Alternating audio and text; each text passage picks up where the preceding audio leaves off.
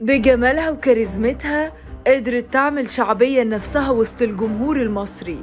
شاركت في أهم الأعمال ووقفت قدام أهم النجوم. لكن على الرغم من كده كانت أغلب المرات اللي تصدرت فيها نسرين طافش الترند كان بسبب حياتها الشخصية. طب إيه الحكاية المرة دي؟ نسرين من أكتر الفنانات اللي كانت بتحاول تحافظ على حياتها الشخصية بعيدا عن الأضواء خاصة بعد لما أعلنت عن خبر خطوبتها من كام شهر. وكانت حريصة جدا إنها تخفي شخصية خطيبها عن الإعلام. الأول الكل توقع إنه هو يكون فنان من الوسط الفني أو رجل أعمال شهير. لكن الحقيقة إن هو طلع طبيب أسنان اسمه شريف الشرقاوي.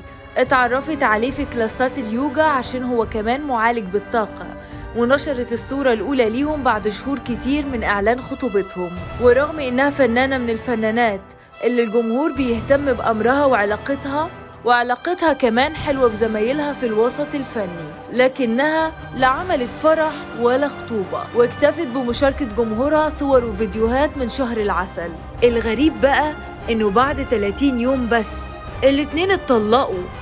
رغم إن صورهم وفيديوهاتهم كانت بتقول إن الحياة بينهم كويسة جدا ومحدش عارف هم اتطلقوا ليه. لكن الجمهور اتفاجئ إن نسرين فجأة مسحت كل صورها وفيديوهاتها معاه. لا وكمان انتشر الخبر وجوزها طلع ونفى وقال إحنا كل حاجة بينا كويسة. ونسرين حبيبتي تعمل كل اللي هي عايزاه. دي حياتها الشخصية. ووقتها ولحد دلوقتي نسرين اكتفت بالصمت ومعلقتش على أي حاجة. فيديوهات وصور فرحهم كانت كلها مثيرة للجدل.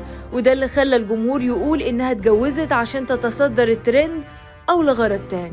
وفي منهم اللي قال إنها اتطلقت بسبب إن شريف أصلا متجوز وده اللي ظهر بعد أيام قليلة قوي من جوازه من نسرين بعد لما نشرت مراته الأولى بوست على الفيسبوك بتقول فيه إنها بينها وبينه قواضي كتير جدا وإنه نصب عليها في فلوس ومش بس كده اتهمته كمان إن معاملته سيئة جدا معاها وإنها اتفاجئت بجوازه من نسرين.